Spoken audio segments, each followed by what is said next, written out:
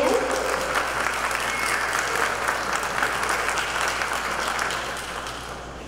Retirement is wonderful. If you can do it, do it. See, and they're both talking about it. Not yet, though, not yet. Um, when we retire, we plan. We put money in our 401ks. We get rid of our credit card debt, pay off the house. We get all these things in line so that when things move along in our life, easy.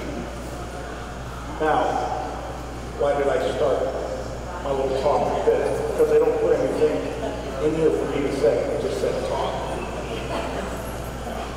When my children were young, we brought them all up here and let them pick an angel. So why is that important?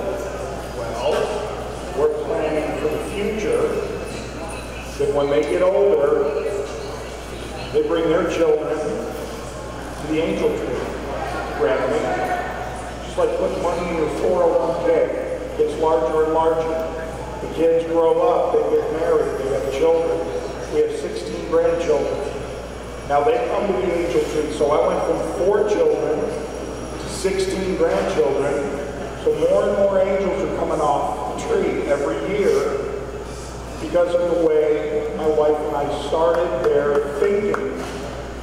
money in their 401k, but putting their money into the Salvation Army Angel Tree. So what they do is they bring their kids up now, they choose an angel, they fulfill the dreams of these young people and older folks alike to make Christmas the way we all remember it. How many of you lived in a two-story house?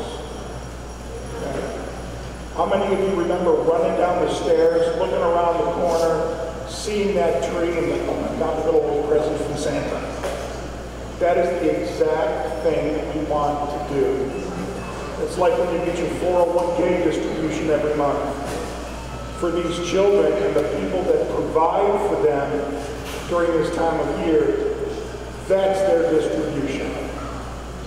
We don't want you to think of this as a pain in the butt. You've got to spend more money on Christmas, gifts, and presents.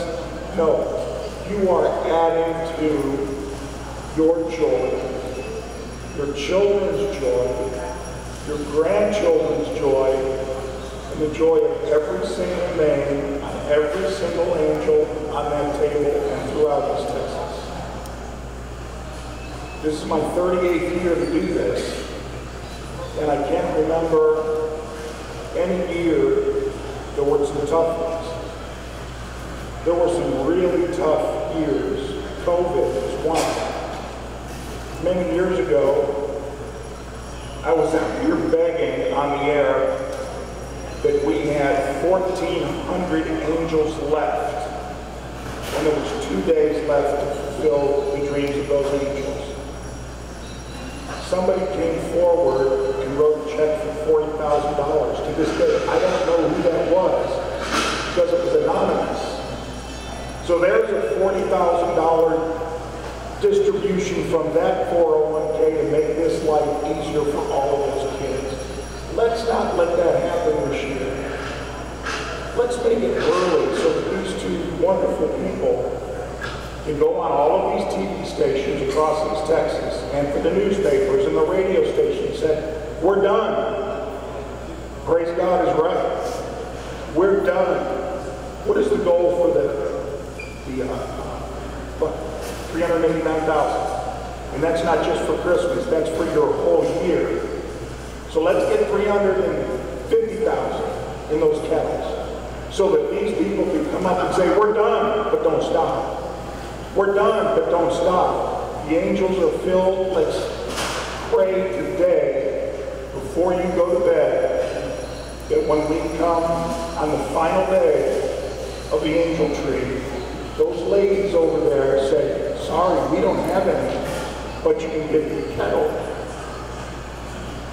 Let's make our retirement as good as it can possibly be. Because trust me, if you have a chance to retire, do it.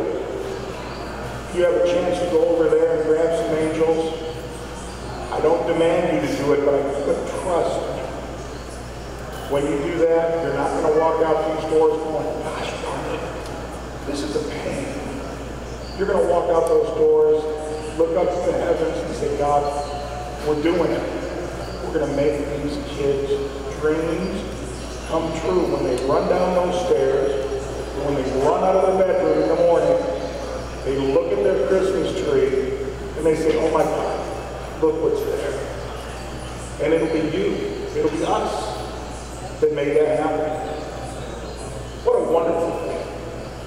You not smile when you think about the Salvation Army I know you guys put so much work into it, and I, bet you right now we're both smiling.